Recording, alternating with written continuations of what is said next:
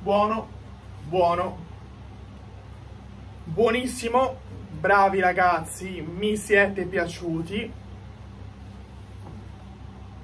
È stata una partita tranquilla, l'unica cosa che mi ha fatto nervosire non siete stati voi, quanto la piattaforma chiamata Dazon di merda, che non si chiama Dazon, si chiama Dazon di merda, tutto attaccato.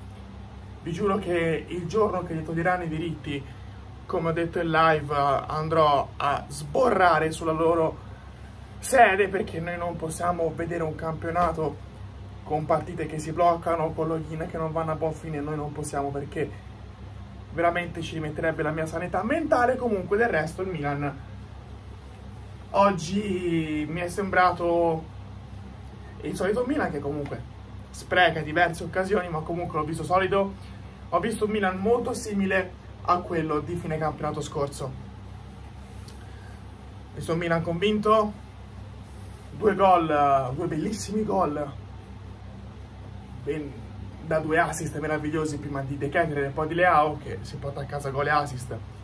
Lo avevamo tanto criticato per non averlo visto. Le prime giornate, invece ha deciso così questa partita di zittire tutti. E la prestazione è stata nel complesso magnifica e anche se comunque bisogna tenere conto dall'altro lato che il Bologna tutto sommato mi tocca ammetterlo non l'ho vista tutta questa grande squadra stasera. Sono un po' moscio perché non sto bene.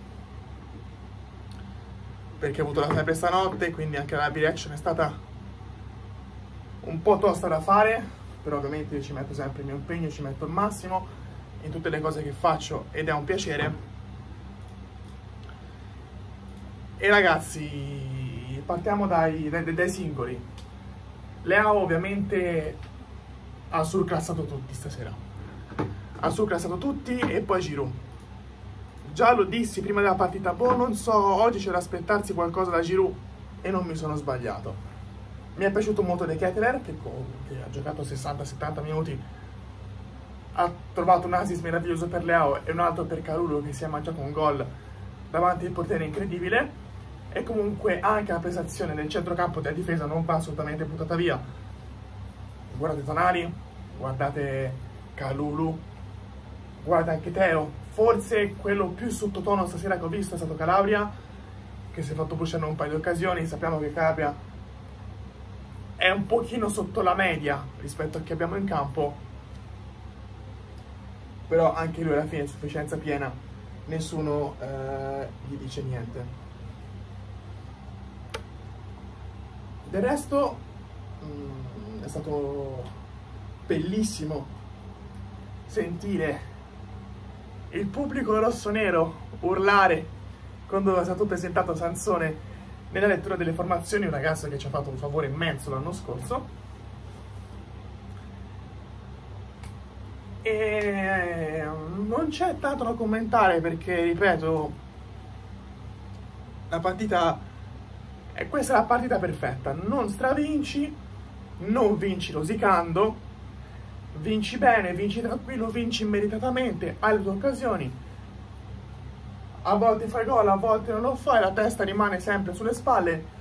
Soprattutto dietro non rischi niente, perché dietro avete visto benissimo che non abbiamo rischiato praticamente niente, a parte il palo di Sansone sulla punizione che ha tirato.